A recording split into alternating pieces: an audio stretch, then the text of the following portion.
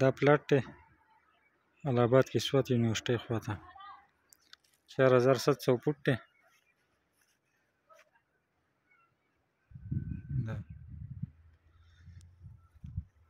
دا ورسره بیا د خواته د سوات یونیورسټۍ ګټ دی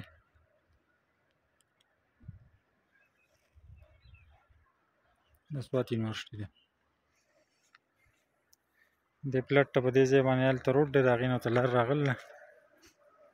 دې سایډ باندې چار هزار ست سو فوټ دی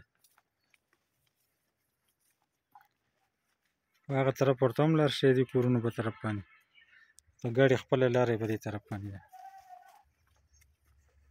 دا بیا دلته دا برجي چې دي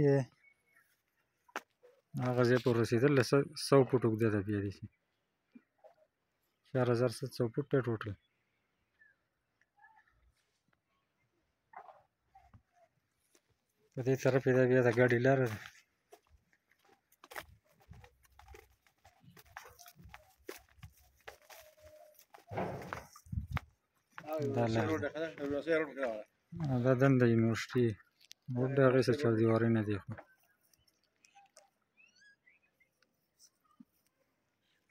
دا ته بیا د ګاډي لار راغلی دی چې تللی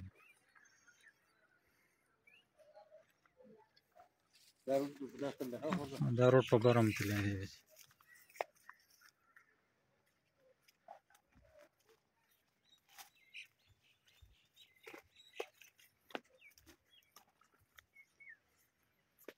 ایستلی دی هغسې بیا راتاو شوی دی لاندې روټ ټکو شوی دی